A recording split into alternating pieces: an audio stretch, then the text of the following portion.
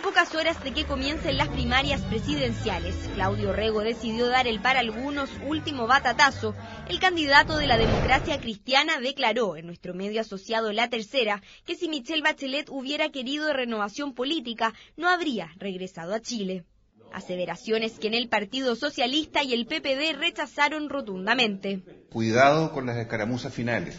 No fue afortunada la frase de Orrego en cuanto a colocar en blanco y negro yo soy la renovación y otra persona no lo es. Creemos que el nerviosismo de los candidatos en las vísperas no deben llevar a generar fisuras ni climas de hostilidad artificiales, como de pronto se pretenden crear, que nada ayudan a la voluntad que el propio Rego ha dicho reiteradas veces de sumarse a la mayoría, de contribuir en el programa. La gente fue la que pidió que ella dejara Naciones Unidas y que se vuelva a Chile para ser candidata. Es la única que no ha sido autoproclamada. Y la renovación, reitero, la deciden los ciudadanos.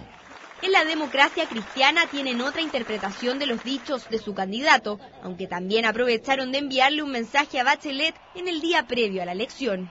Lo que está mandándole un mensaje a Sebastián Piñera, que no vuelva en cuatro años más, que para allá va el actual presidente, ¿no es cierto?, a repetirse el plato. Lo que sí me parece que eh, Michelle Bachelet, si es la ganadora, lo que tiene que considerar que sin la democracia cristiana no tendrá gobierno, no tendrá parlamento y por lo tanto vamos a tener mucho que decir a partir del lunes. Una última controversia al interior del pacto Nueva Mayoría. Según personeros de la concertación, no cambian los planes de unidad, ya que fue el mismo Rego quien señaló que se necesitan mutuamente.